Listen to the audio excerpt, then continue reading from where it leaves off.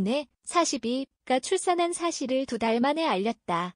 이인혜는 25일 자신의 소셜미디어에 무사귀환 물결표 저 아기 잘 낳고 돌아왔어요라고 썼다. 그러면서 이달째 산후조리 중이라는 해시태그를 더했다.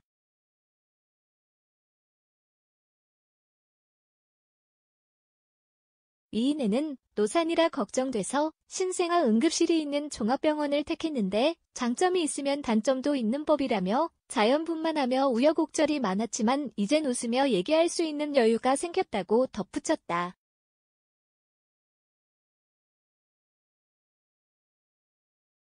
이와 함께 아기가 태어난 지 3일째에 촬영한 사진도 게재했다.